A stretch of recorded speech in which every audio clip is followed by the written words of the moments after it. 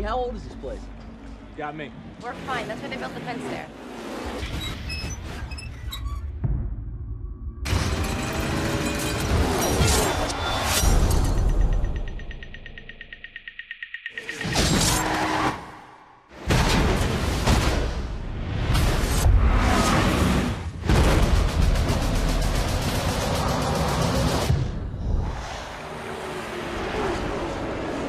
We have to get out of here.